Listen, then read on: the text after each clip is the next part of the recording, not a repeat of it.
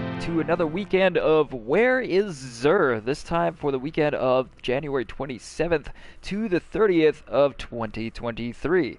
So, for those who may not yet know, we are in the tower this week. So, whereabouts in the tower, just head on to the courtyard, make your way down this path until you find yourself at this set of stairs right here. Once you are here, you just head down and then head on over this way towards another set of stairs and then yet another set of stairs. It's there's a lot of stairs. Look, it's fine.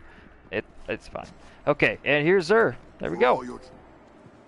The nine show you these. All right.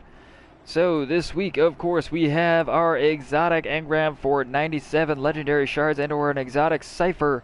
Then we have Suros Regime for any of those who still need to add it to their collection for, of course, 29 shards. Then for 23 shards, we have Sealed Ahamkara Grasps for the Hunter class with a total of 61.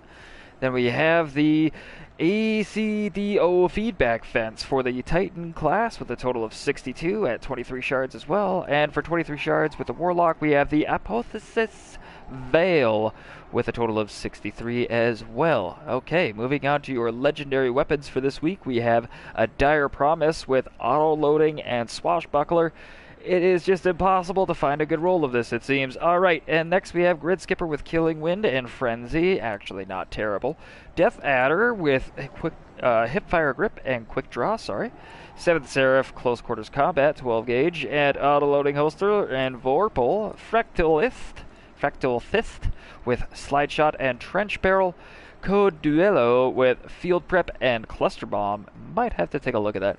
And then Frozen Orbit with Surplus Thresh, and One Quiet Moment. Your legendary armor set for this week is going to be the 7th Seraph set.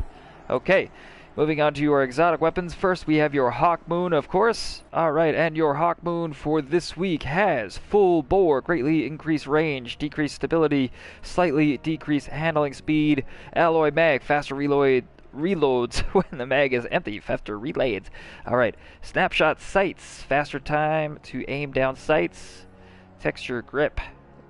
It's uh, increased handling and slightly decreased stability.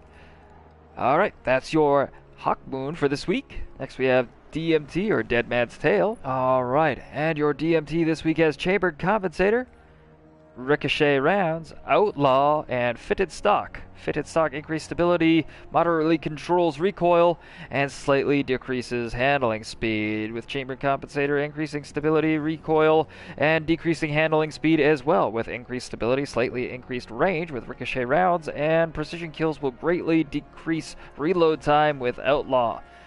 Alright, it's kind of fun, although not a lot of handling, unfortunately. Really bad handling this week. Alright.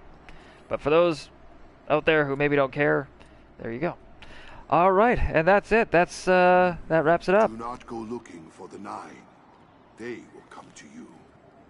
Indeed. All right, thanks for coming to check things out. As always, my name is Zabin, and we'll catch you next time.